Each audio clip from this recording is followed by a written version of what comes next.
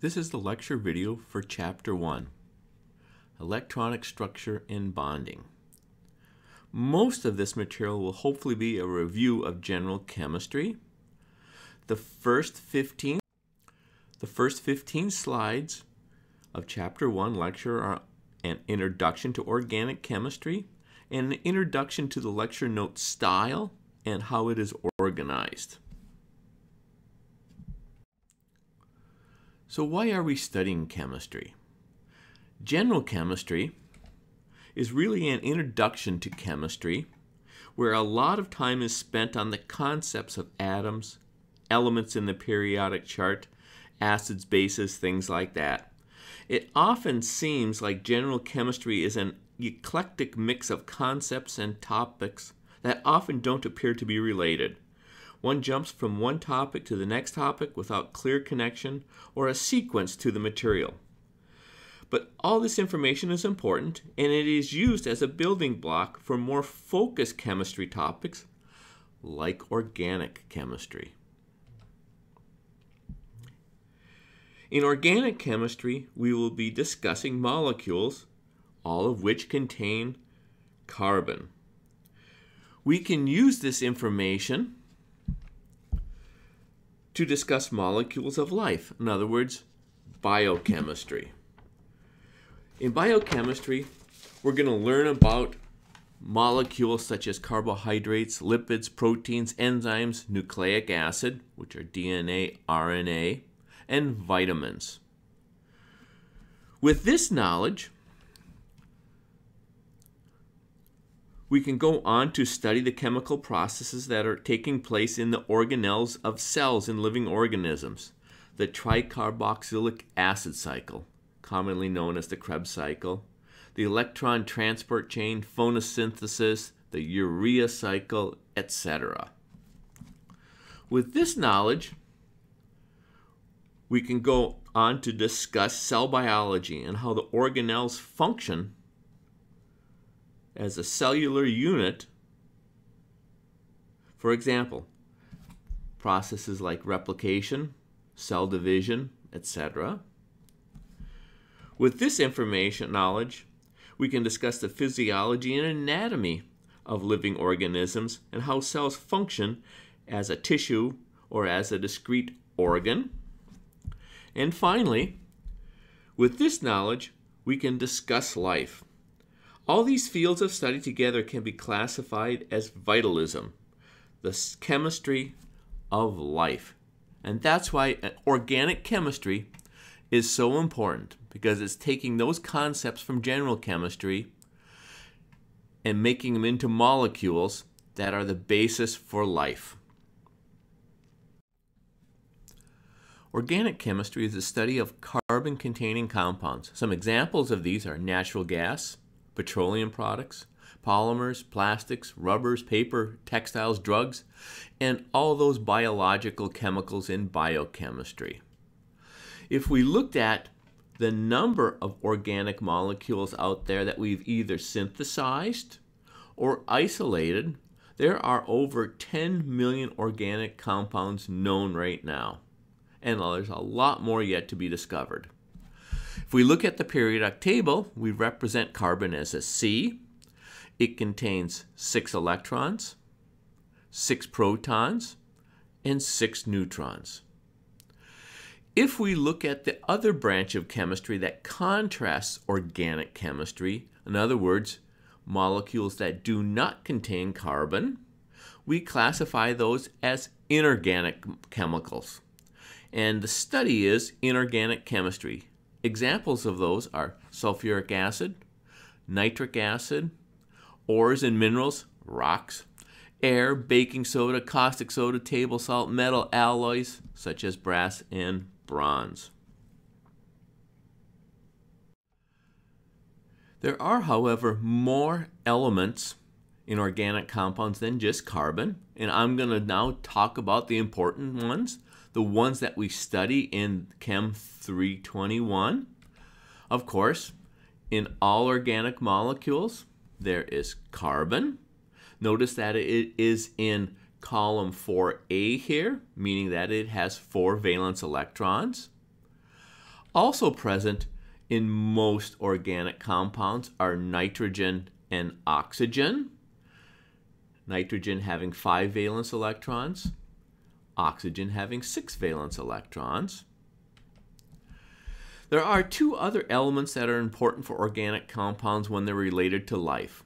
Both phosphorus and sulfur are very important organic elements for biochemical compounds. Other elements that are common are the halogens, the group 7A elements, fluorine, chlorine, bromine, and iodine. Each of those elements contains seven valence electrons. These elements are not commonly found in biochemical compounds, but we use them when we do synthetic organic chemistry. So they're very important for organic chemistry class. Two other elements that are gaining more and more popularity are boron and silicon. In fact, the study of borocarbon and silicarbon studies has grown tremendously over the years. Notice that silicon is right below carbon in the periodic table. We know from general chemistry that elements in a column of the same in a periodic chart have many of the same physical and chemical properties. This had led scientists to speculate that maybe life could exist somewhere in the universe that is based on silicon rather than carbon. It's kind of an interesting thought process. With that small set of chemical elements, there is a lot of ways they can be bonded together to form molecules, which leads to a significant diversity of organic compounds. These are just some examples here, and I've represented several different ways to actually depict organic molecules. This whole group over here on the left-hand side is known as a space-filling model. This molecule here in the center here is an expanded structural formula of benzene. This molecule is an expanded structural formula of ethane. This is an electrostatic map of formaldehyde. This is actually a ball and stick model of buckyball. And this is a line angle drawing, and it looks very complicated, of a synthetic drug that is used in medicine these days. What about CO2 and carbon monoxide, graphene and diamond? They all contain carbon, so are they organic molecules? In fact, we typically classify those as inorganic because they're not generated by life. They're literally generated by star explosions and high pressure places in the world. Let's look specifically now at ethanol. Okay? And let's look at the different ways that organic chemists depict them, the different structures that we use to represent them on paper. Most ethanol in the world is synthesized by a fermentation process followed by a distillation process of corn. That alcohol is used for many different purposes. It is a major ingredient now of our gasoline, where we range from about 5% up to about 85% ethanol. It is also used for hard liquor like whiskey and tequila. Its significant quantity is used in beer production. You can also go down to the hardware store and buy a can of denatured alcohol. Denatured is alcohol, ethanol, that just has some additives put into it so you can't drink it. In the laboratory, we have squeeze bottles full of ethanol. It's a very good solvent and we can use it to run chemical reactions. And right now, it is used in hand sanitizer as a disinfectant. There are many ways to represent ethanol on paper. The most common method is actually a molecular formula. We can see here in this molecular formula for ethanol that I have two carbons. six hydrogens and one oxygen. That tells me the elements that are in ethanol, but it doesn't tell me how they are connected, what how they are bonded together, these different atoms. Another way to have a molecular formula is to separate out one of those hydrogens and put it closer to the oxygen that it's actually bound to. So I have two carbons that are bound together. I have five hydrogens that are bound to carbon. I have one hydrogen here that is bound to oxygen. Another way to represent a molecular formula for ethanol is to use the abbreviation ET. That stands for F, and the OH stands for alcohol or all, so this would represent ethanol. If we want a little more structural information, we could have a condensed structural formula. In this case, uh, this car first carbon here is bound to that second carbon, which is bound to that oxygen, which is bound to that hydrogen. These three hydrogens are bound to the carbon. These two hydrogens are bound to that carbon. We often represent those bonds between the carbons and the oxygen as lines, but we could also just leave those out, and this is also another common methodology for representing ethanol.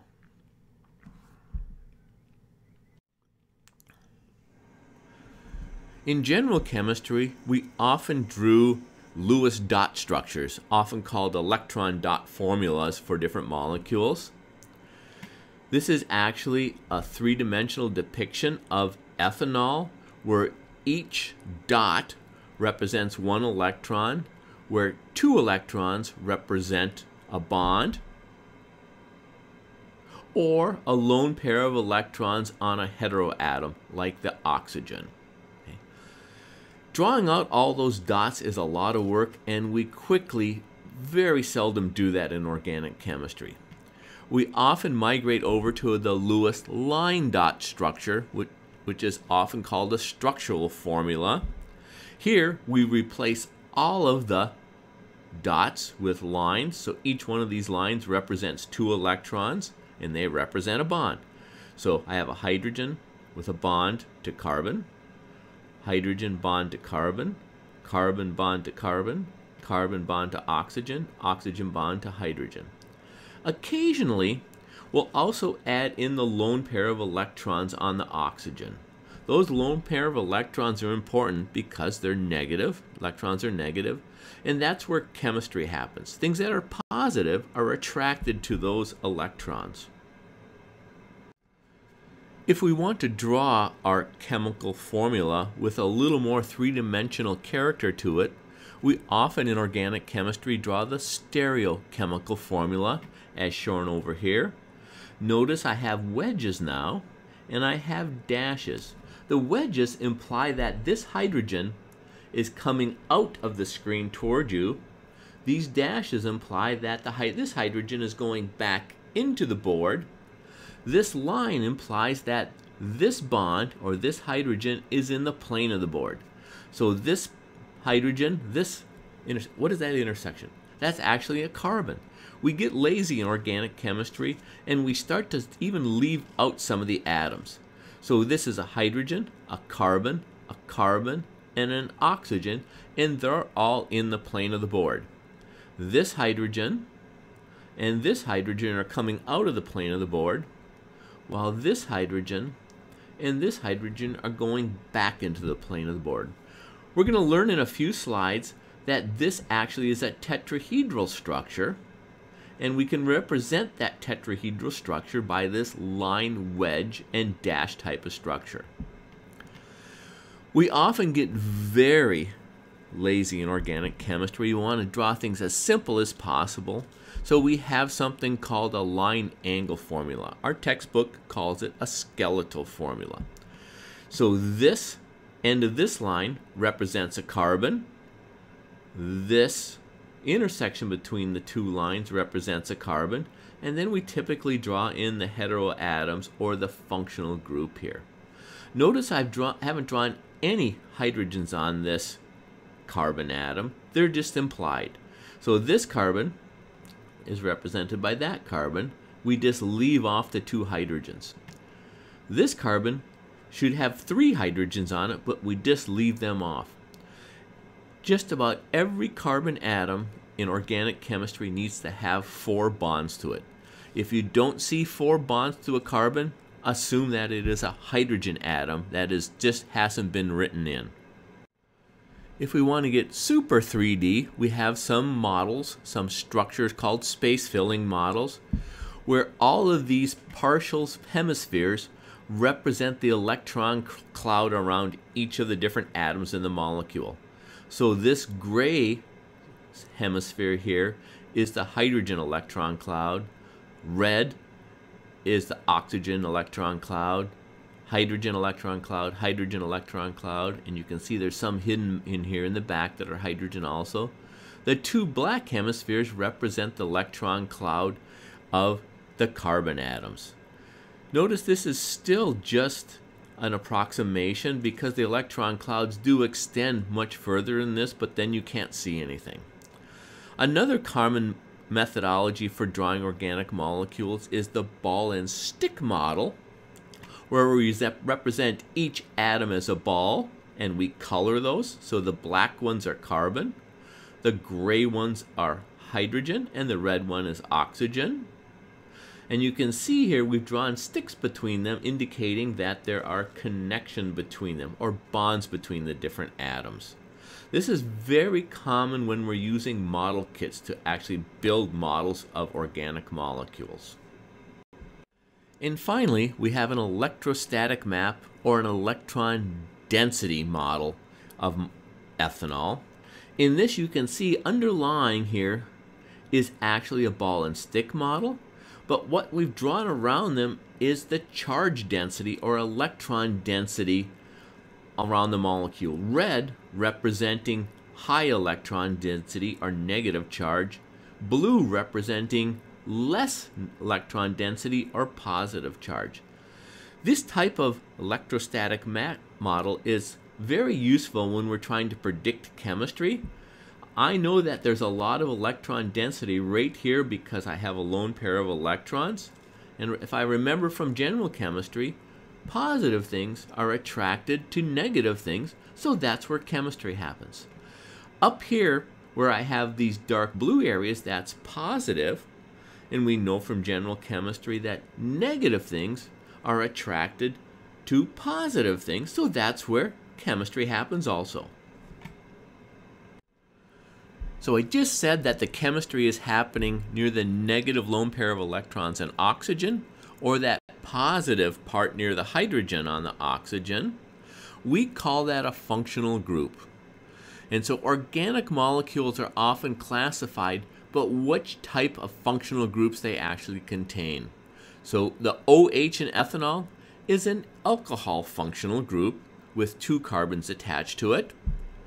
Specific functional groups are responsible for the physical characteristics, physical properties of organic molecules, and most of the time they are responsible for the chemical reactivity of a molecule.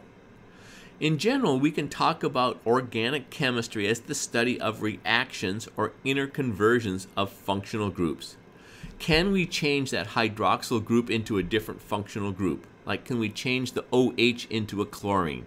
Can we change the OH into a nitrogen? That's a lot of the things that organic chemists do. There are three broad classes of organic compounds based on what type of atoms in an organic molecule they have. We have one, hydrocarbons. Those are organic molecules that only contain carbon and hydrogen. We have organic molecules that contain carbon, hydrogen, and oxygen.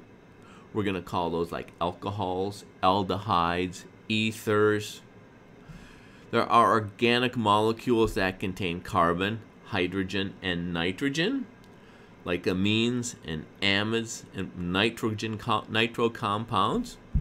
There are a few other elements that are often included in organic chemistry, but they're not as prevalent. The halogens, which we use for synthetic organic chemistry, sulfur and phosphorus, which are biochemistry elements, and then boron and silicon, which are different classes of organic molecules.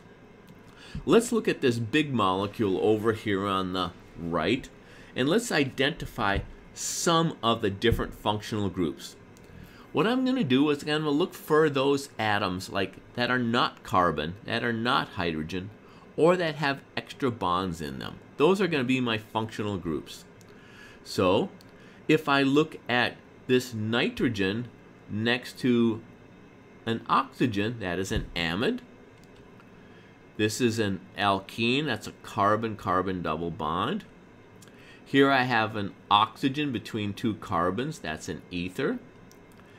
I have a six-membered carbon ring that has three double bonds. We're going to learn that's called either an aryl, arene, or an aromatic functional group. Down here is another ether. That's an oxygen between two carbons. I have a nitrogen with two oxygens on it attached to a carbon. That's a nitro functional group. Here I have an OH. We already know that that's an alcohol functional group. It just happens to be attached to a much larger molecule. Here I have a carbon with a double bond oxygen that does not have a nitrogen near it. That is a ketone functional group. This is a triple bond between two carbon atoms. That is an alkyne functional group. Here I have a carbon with a halogen attached to it. We call that an alkyl halide. Halide, meaning one of the four different halogens, chlorine, bromine, iodine, and fluorine. And finally, I have down here a carbon with a double bond oxygen. That's at the end of a carbon chain. That is called an aldehyde. These are the different functional groups that we'll be studying this semester in organic chemistry. Here is another organic molecule, codeine, that contains functional groups. This single molecule contains an ether, an aromatic, another ether, an amine, an alkene, and an alcohol. In fact, there are billions and billions of possibilities of organic molecules, and most of them have not been identified or have not been synthesized. So there's a lot of opportunity for organic chemists to make new drugs, new polymers, new types of materials that we can use in our society. Let's now look at what we're going to be studying this semester in Chem 321. We're going to be studying alkenes, alkanes, alkenes, alkynes, alcohols, phenyl groups, and benzyl groups, these ones being the aromatic compounds. And then we're going to sneak in some sulfur chemistry because it's very similar to alcohol chemistry. Remember back at the periodic chart? The sulfur is right below oxygen in the periodic chart, so a lot of the same chemical properties and chemical reactivities happen for sulfur containing compounds as oxygen containing compounds. In Chem 322, next semester's organic chemistry, we're going to fill in a whole bunch more functional groups. Notice that there's a lot of them that are not studied in these organic chemistry classes. These are usually left over for graduate level classes. I hope somebody in the class takes graduate level organic chemistry someday. Organic chemistry this semester can be broken down into three different broad categories. The fundamentals of organic chemistry, the models that we're going to discuss, and synthesis of organic compounds, with the goal being synthesis, meaning we're going to take some reactants and we're going to react them to form products. And actually, this will be very beneficial when you take organic chemistry lab next semester or in the coming year. So, in the fundamentals topic, we're going to discuss the and study these functional groups alkanes, alkenes, alkynes, and aromatic compounds and alcohols. We're then going to use some nomenclature, naming organic compounds, we're going to learn three different ways to name organic compounds. The common names, ones that are common out there. We're going to learn the International Union of Pure and Applied Chemical systematic way of naming organic compounds. Unfortunately, we have to learn two of these. There's an old methodology from 1972 that was developed, and then there's a new methodology from 1997 that was developed, and we have to learn them both because they're still being used today. We're also then going to learn physical properties. Specifically, we're going to be discussing boiling points of organic molecules and trends, melting points of organic molecules and trends, density, and solubility. Next semester, we're going to be putting all that together in the fundamentals and doing analysis using ultraviolet visible spectroscopy, infrared spectroscopy, mass spectroscopy, which you might have some experience in general chemistry, and nuclear magnetic resonance spectroscopy. All really fun things to do. Once we've learned these fundamentals, we're going to put them together because we want to know how atoms bond. So there are some models that have come together. We're going to discuss a quantum mechanical model, and we're going to discuss a hybridized quantum mechanical model so we can use these models to predict chemistry, predict how reactants will become products. We're also going to discuss some models that are mechanisms which show how we have free radicals, single electrons reacting with other atoms that have single electrons to form bonds. We're specifically in this semester going to talk about substitution reactions and the mechanisms for those, and elimination reactions. A substitution reaction is where we have one functional com group come in and actually substitute for an existing functional group. Elimination reactions are where we eliminate a functional group to form a hydrocarbon. In the lecture material for this semester, I have organized it with some color coding and some italics. If you see something in dark red and in bold, that's usually a term or a concept or a name that you need to know and need to be recognized readily. If it's a dark blue, it's just for emphasis on that slide. If I have bright red text, that's usually the answers to practice problems or it's the movement of electrons, meaning I have arrows that I draw that show electrons moving from one atom to another atom or moving from one bond to an atom. The dark green text on the slides for this semester are the names of different organic molecules. That's the 1973 IUPAC names and the 1992 IUPAC names and the common chemical names. Anything in black is just general discussion to fill in some of the details on each of the slides.